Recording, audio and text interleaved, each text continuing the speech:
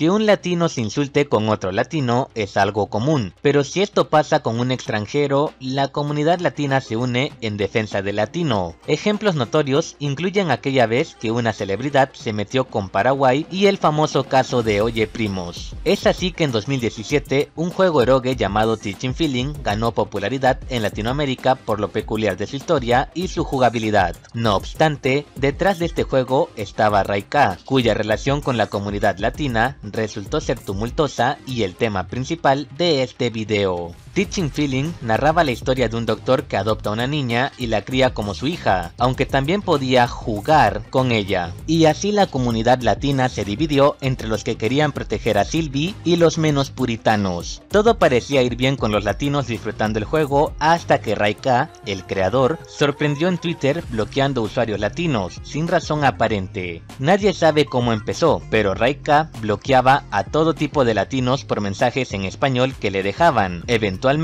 el motivo no se haría esperar y es que en un comunicado él alegó que lo hacía porque la comunidad latina pirateaba su juego y lo molestaba con peticiones en español. ¿Qué?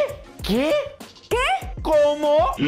Así tal cual, esto generó un conflicto entre Raika y la región latinoamericana porque él consideraba cansino que aparte de que consumieran su juego de versión pirata, le pidan actualizaciones, lo cual tiene sentido, pero en principio Raika solo se limitaba a bloquear latinos sin importar si fueran españoles, pudieran hablar inglés, sean descendientes de japoneses, etc. Bastaba con que tengas nombre latino o una palabra en español en tu perfil para que Raika te considere latino y te bloquee. Según varios usuarios asiáticos, Raika hacía esto por ser una persona que difícilmente se relacionaba con otros en su infancia, y prácticamente veía esto como la mejor opción contra la comunidad que, según él, era la que más pirateaba su juego, cosa que en un tweet y eventualmente un comunicado en su página web dejó en claro, ya que él bloqueaba latinos por creer que eran la comunidad que más pirateaba su juego, que todos los mensajes recibidos lo molestaban porque pedían mejoras y cambios de idioma pese a que consumían el juego de forma pirata, que no cambiaría ni haría cambios exigidos por latinos y que no era su problema nuestro desconocimiento del japonés e inglés o nuestra poca accesibilidad al juego de manera legal. O sea, prácticamente culpaba a los latinos de ser latinos y la razón de sus males. No quedó claro si también incluía a los piratas de Asia en su tweet,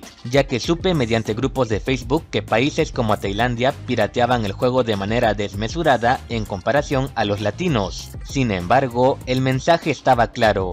Si eres latino, no debes quejarte del precio del juego, la poca accesibilidad del mismo, ni mucho menos pedir mejoras. Y esto aplicaba para todos incluso aquellos que por X motivo consumían el juego de manera legal. Esto fue considerado como un acto de racismo, xenofobia y estereotipo por parte de todos los latinos, sin excepciones, ya que ni siquiera podías reaccionar a sus posts en Twitter porque de una te bloqueaba. Como es común en la región, si te metes con los latinos, sea por la razón que sea, la respuesta sería inmediata. Recuerdo que entre 2018 a 2019 en redes sociales muchos latinos boicoteaban el juego, decidiendo no piratearlo más o enviaban mensajes de odio hacia Raika, quien creyó que esto se resolvería demandando a los latinos que pirateaban su juego o si tan solo hablaban del mismo. Recuerdo que yo y unos usuarios en YouTube dedicamos algunos videos al juego, pero estos tuvieron que ser eliminados porque cumplían con los requisitos de Raika para una demanda. Prácticamente era una guerra entre él y toda Latinoamérica. Sin embargo, Raika comenzó a incluir estadounidenses, ingleses, japoneses y demás usuarios que tan solo le hablen bonito del juego. ¿Por qué? Pues en un comunicado entre esos años, Raika aseguró que no solo bloqueaba a los latinos, sino también a todo aquel usuario que hable inglés porque aparentemente los latinos se hacían pasar por gringos para decirle racista, cosa que según él era erróneo y ofensivo, ya que supuestamente no era racista, simplemente un incomprendido que hacía lo mismo con su gente. Menos tú estás pendejo, ¿ok, hijo? Sí, prácticamente decía ser racista sin decir que era racista, ya que en este comunicado se puso como la víctima y en lugar de ofrecer una disculpa por su comportamiento errático, o de sacar provecho de la situación, simplemente dejó en claro su odio por la comunidad hispana y la consideró como el inicio de sus problemas de salud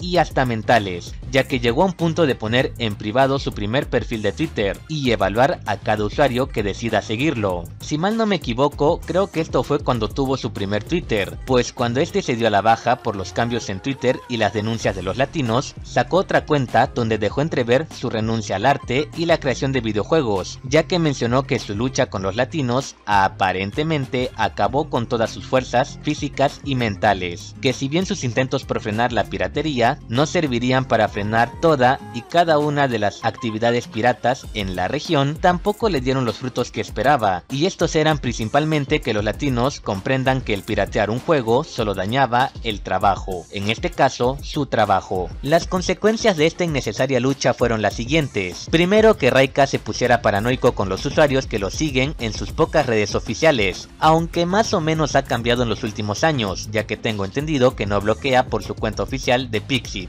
el DeviantArt asiático. Teaching Feeling al día de hoy es un juego incompleto, ya que para Raika es un recuerdo de lo vivido con los latinos. A esto se le añade el hecho de que aparentemente esté trabajando en otros proyectos, y digo trabajando entre comillas, ya que los ex Teaching Feeling saben que Raika prometió muchas cosas para su público objetivo, pero apenas y lo cumplió. De Latinoamérica no diré nada porque bueno, ¿qué les hace pensar que aquí se aprendió a no consumir productos pirata? Más bien la única consecuencia en Latinoamérica es el odio hacia Raika por sus mensajes contradictorios, su poco compromiso por terminar sus juegos y más que nada, su renuencia a facilitar el acceso a Teaching Feeling y créanme que ahora vamos con la parte que realmente me interesa ahondar. No iré por lo genérico a pedirle a ustedes queridos suscriptores que envíen mensajes de amor a Raika, lo suyo nunca se le va a quitar. Tampoco diré que dejen de consumir productos pirata porque sería muy hipócrita de mi parte. Solo comentaré que, si tienen bronca por Raika, aparte de dejar de consumir sus productos, déjenlo solo. Créanme cuando les digo que él manchó su reputación hasta con su propia gente, y eso se notó al abandonar su producto emblema, descuidando a su comunidad y generando en él la imagen de un desarrollador con poco compromiso. En cuanto a Raika, les puedo comentar que él es el ejemplo claro de lo que piensan los desarrolladores independientes cuando piratean sus proyectos, ya que esto, guste o no guste, es ilegal y solo les trae consecuencias negativas. A su vez, es el ejemplo claro de una persona que solo vive de estereotipos e intenta maquillar su xenofobia. Lo siento mucho Reika, pero me da igual si tuviste mala infancia o X motivo. Lo que decías en cada tweet